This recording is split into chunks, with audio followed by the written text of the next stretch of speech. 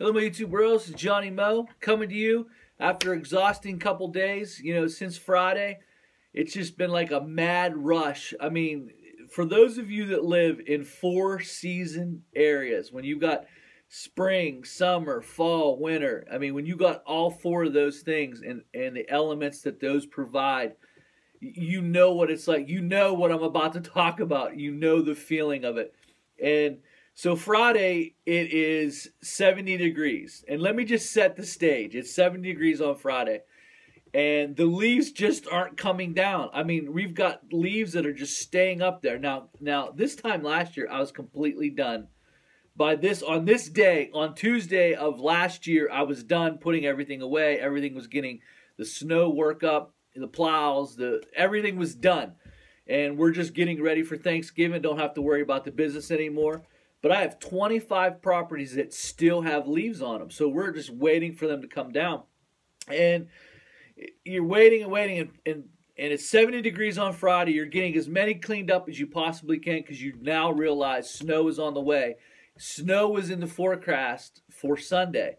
Uh, we had a weather advisory, three to five inches coming off the lakes. Uh, and since the lakes are, this is prime time too, because when the winds come off the lakes, you got a warmer lake with cold air over top, you just get dumped on. And fortunately, we didn't get that much. I'd say we got about three inches, and most of that was sticking on the pavement was kind of ice. So we didn't get that much, but it did cause us to have to put the trailer away, get the truck transferred transformed over to the snow stuff. And so Saturday morning to Saturday afternoon was just a huge rush get all the all the trailer put away, get everything put away, or at least out of the way, so that you could transfer over to the snow and make sure you still had enough salt supply left over from last year. And then you're up all night looking at the weather reports, like how much are we going to get? Because you know anymore, if there's a tropical storm or there's anything, they report on it so much, they build it up, and then when it doesn't happen it's kind of like you know it makes you stressed out have you have anxiety over it everywhere you go. Did you hear we're getting three to five? Did you hear we're getting i heard we might get seven inches i mean it's so blown up. And then we ended up i think on the grass i'd say we got about two inches and then we got some ice. A lot of accidents a lot of polyps. I mean as soon as the on saturday morning it was 50 degrees so i hurry up took the sides off the truck put the put the plow on put the solder on the plow wasn't working properly. It is amazing to me, and I, I I've said this for years on YouTube or even in business. It's amazing to me that you can put your stuff away. It works perfect, but when you get it back up, something's wrong. I remember last year, this year when, we, when I pulled everything out, my mower when I put it away was running fine. I pull it out, it's running for five minutes, it's got a hydraulic leak. I'm like, how does this stuff happen? And but the plow would not turn. It would turn left, but it wouldn't turn right. So I either had a stuck stuck valve, or it was linked up. It was locked up somewhere. So I had to lube everything up. Finally, I was able to get a hold of a curb and just push it back the other way, and you know, uh, the it opened up for me and it started working. So I got to get that in, make sure everything's right on that end. I made it through the weekend. Uh, we got some more snow for Monday. And now we're just kind of sitting here waiting for all of this to melt so that we can get back and try to get the rest of the leaves cleaned up.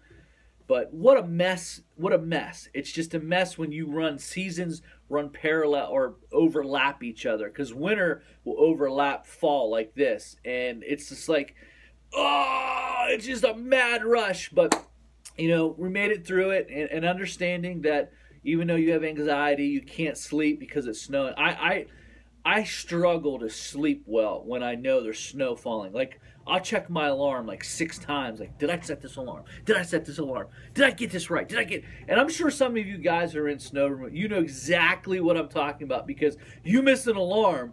You know, I set I I stack the alarms. Like I'll stack the one three o'clock, three thirty, just in case that I missed it three o'clock. At least at three thirty is going off because, and my wife thinks I'm crazy about it, but it's just you want to get out there, you want to get it cleaned, you want it you want it to be safe. And and for those of you who know are in, in snow removal who've ever gotten the letter from the lawyer, you know why. You know, I mean, I've gotten two letters in my lifetime from lawyers about slip and falls. And the first one is the most devastating. The, the, the first one's like, what? Oh my, someone fell on my prop. They're suing me. Oh my. But, and then once you go through it a couple times, you kind of realize, okay, it's not as bad as um, when you first get it. You're like, you're going to lose everything. But that's why you have insurance, and that's why insurance have lawyers. That's why you have lawyers. And I, and I hear a lot of talk about this. I hear a lot of talk about, well, I have hold harmless clause in my contract. Those mean absolutely nothing. That that is nothing to a lawyer. A lawyer looks at that. Here's the contract that the, the company signed. Yeah, here you go. You have to understand that you are liable no matter what. So they signed a hold harmless clause, which means nothing. It just ties it up. You think that it mean it doesn't, because if you are physically liable, let's say, here's a good example like we have what's called freeze thaw going on right now. And you have gutters that are filled up maybe with leaves that didn't get cleaned out. So what's happening is it's getting backed up and then you have you have uh, melting snow during the day and it runs across the side. Well, at night it freezes. And let's say that you did not bring that to the attention of the business and you didn't do that and no one knows someone comes and goes down whose fault is that that is a hazard on the property. So if you were going to hold harmless, let's say you were trying to do, you would have to individually state hold harmless for every single little detail. Let's say that let's say that the opening time is eight o'clock and you got there at five to eight, and the melding the melding application you put down did not work in time. Someone falls, you're liable. You are liable because you were negligent in the time frame. And it would only take one expert on the stand to get you out of the hold harmless cause. I, the only reason why I say this is because I want you to understand just because you have a hold, hold harmless cause clause in your contract, that does not mean that you will not be sued. That like you're free from it. It's just not true. It's so easily it's easily easily just I gave it to one of our top lawyers in our town, and I said, "Is this contract good?" He just threw it. He looked at. He just threw it aside because I, I would I would abuse that contract. Contract means nothing to me. You know, it does not exempt you from not doing a proper job, and then that's when they're going to interview and they're going to ask you, and they're like, "What is the proper time? What's going on?" You know, all of the questions are going to ask. You're not going to be exempt. And I see a lot of this on YouTube. I see a lot of this on the forums, PlowSite, lawn site well, I got I got harmless, and you can't touch me. I'm I'm good. I'm good. You're not. Trust me. You know, even as something as little as missing the fact that the gutters are clogged. And what what I like to do is I like to go out, inspect the property, and talk to the the person in charge of the management, or you know who the management in charge of the grounds, or you may, may be the person in charge of the property or so, like a manager in the site or whoever it may be. You want to get in touch with that person and with regards to, hey, look, we have an issue here. You have a leaking gutter. This is, do you want me to salt this? Now, they say, you know what? Don't worry about it. We'll take care of it. Okay. Now, you break down your contract and you have something stated in there and it says specifically, do not want salt for leaking gutters initialed by the manager. That's where the clause now comes in effect. Hey, listen, I addressed this situation. They did not want me to solve it. Or let's say that you have, uh, uh, let's say, I'll give you a good example. Okay, let's say that you have a four, you got a block of sidewalks around. Well, the back side may be like an alley side. It's not traveled a lot. And a lot of times what they'll do is that since it's not traveled a lot, they'll say, you know what, don't worry about that back. Can you knock some money off? Okay, yes. But we have to have that in writing. Okay? So in your contract, you write it up and say, hey, I want this in writing that states they do not want that back part done. Initialized by someone of authority. It can't be just a basic person, a teller, or anything like that. You need or or like you can't if it's a grocery store you can't go right into the hey can you just initial this real quick? No you have to have a manager someone who's in authority and you have to explain it to them you know what's going on. And those are some basic contract things. I think that you should have a contract. I think you should walk the property I think that you should address all damage done by snow plows. I think that has to be in the contract. You're not liable for curbs. You're not liable. I mean, they're covered up. There's nothing that you can physically do.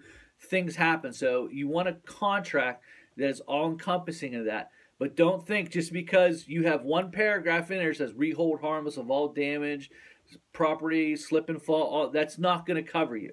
You have to be diligent. And that's why you know, sometimes you you're up late at night thinking, okay, I gotta get the storm. I gotta make sure the storm is covered.